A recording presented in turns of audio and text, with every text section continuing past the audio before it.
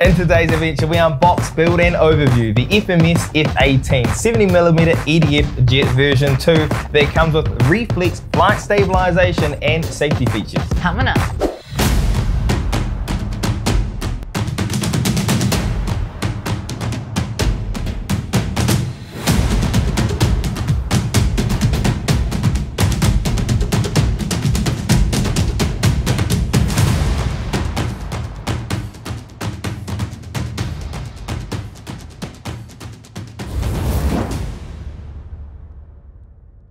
Hey, what's up guys? I'm Joe. And I'm Amber with the RC Kiwis. On this channel with everything from bashing, crawling, speed runs, unboxing reviews and much more. So if you're new here, consider subscribing. That way you won't miss out on any of our future RC adventures. Now this adventure is going to be one of the most exciting ones I've ever been on ever. This is our very first jet, very first jet ever and I cannot wait to go fly it. Today, of course, we're not flying, but the flight video will be coming very soon. Now, the F-18 Super Hornet, the real thing goes almost two times the speed of sound. It's, it's more than two times faster than the likes of an A350, A330 when you're traveling on your vacations, which hopefully everyone will be going on very soon. I'm sure this thing's fast, maybe not that fast. Now, there are a lot of features to talk about when it comes to this FMS model of the F-18 Super Hornet. We're gonna get to that very soon, but first, Amber, let's get this RC Jet out of the box. Man, this thing is so nice, and I'll admit I did open this up earlier on. I have a sneak peek and get the instruction manual out so you can have a bit of a read. We got the plug and play version, so you are gonna need your own transmitter and receiver, and we'll let you know what we will be using very soon. Uh, also, this RC does has some of those flight stabilization features that the likes of your E-flite models or the T28 we recently reviewed has, and we'll talk about that soon as well. So we get all these pieces out, we're gonna build the plane together, and then we'll go over some of the features features on this plane. So here we have a wing spar. So this is one of the wings. Actually a really nice color, isn't it? It's a nice gray. Here we have the two vertical stabilizers. Can you fire them? Yeah. They get me running.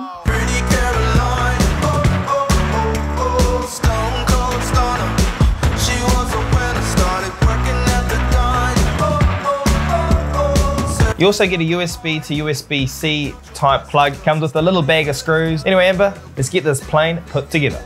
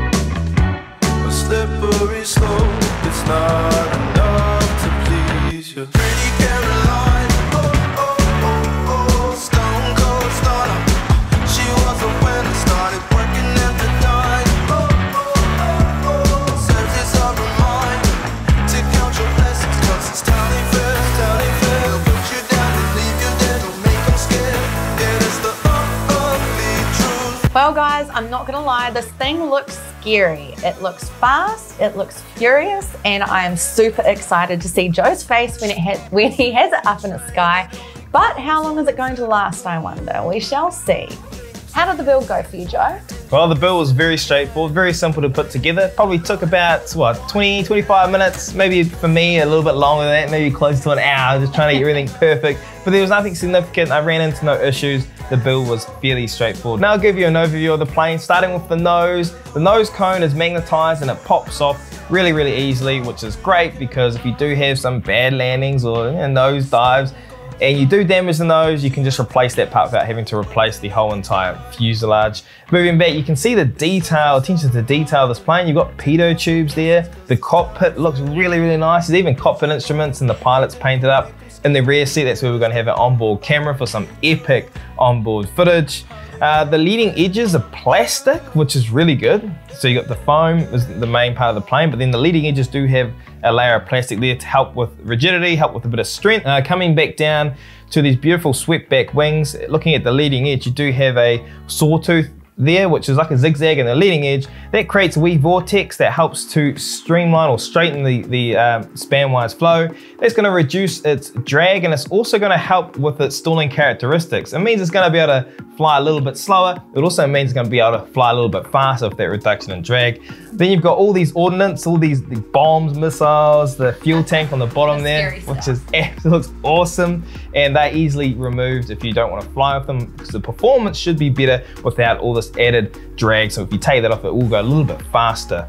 Moving to the rear, you have dual vertical stabilizers with rudders. In the real plane, you have stabilators or you have a um, all-moving tail plane, whereas in this model aircraft, it's just a horizontal stabilizer with elevators at the rear. Now this model is a six-channel aircraft. You have control over the throttle, ailerons, elevator, rudder, flaps, and it has retractable undercarriage, which is awesome. It looks so good, and it has a nice amount of dampening to it.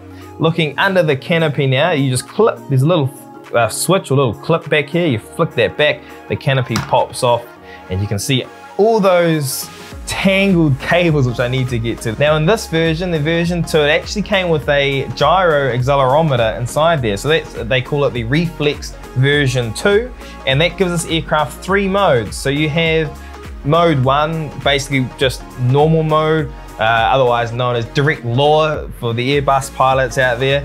And then you've got what's called an optimize mode, and optimize means that the flight controls will move when the aircraft is disturbed by turbulence or when, when it's up in the air. It will help make the plane fly a little bit more stable, a little bit more smooth.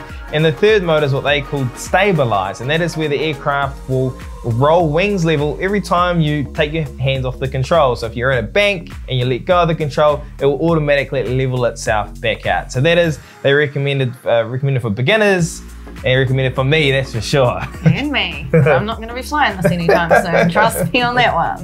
We'll get there eventually. First, we need to get Amber on that T28, maybe in two weeks. Even that scares me. And then we're going to get Amber on the jet. Now, for the radio, we're going to be using our Spektrum DX6 radio. Hopefully, we're going to be upgrading soon to the NX8 or NX10.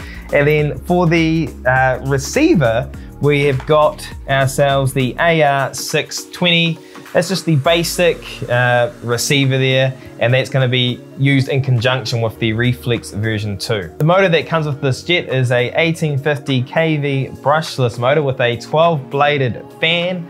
Uh, the ESC is a 70 amp ESC, and well, I think that's about it, Amber, for our overview today. If you wanna know more on this jet, We'll have a link in the description down below where you can pick yourself up one or just read up on it. Now, I'm honestly speechless at how good this looks. This is our first jet, so you're gonna get a good idea on if, you know, if you're looking for your first jet, could this be the one?